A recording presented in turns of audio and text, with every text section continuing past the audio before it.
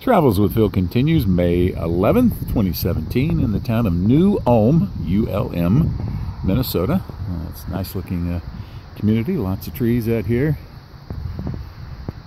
And this was the scene of one of the big, uh, lots of big conflicts during the uh, Dakota Wars of 1862 between uh, the local settlers and the Dakota Indians, part of the Sioux, one of the branches of the Sioux.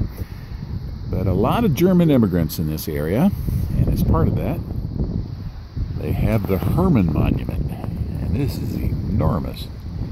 Now, Herman, who's depicted up there on the top, was a uh, German who united the tribes against the Romans in the year 9. Yeah, 10 years, or, yeah, year 9.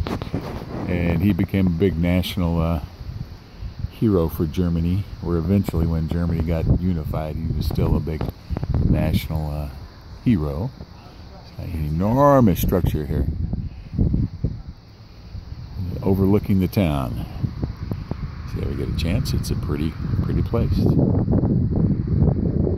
Travels with Phil continues from New Ulm, Minnesota.